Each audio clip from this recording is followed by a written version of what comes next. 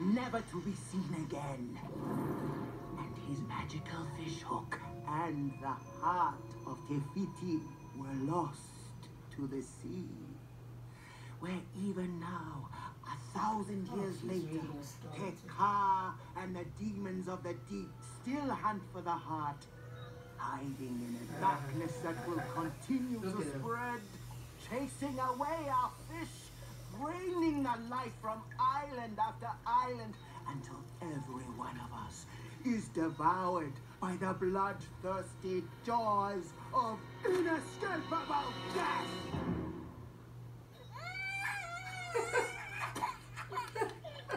But one day, the heart will be found by someone who will journey beyond our reef, find Maui, deliver him across the great ocean to restore Te Fiti's heart and save us all.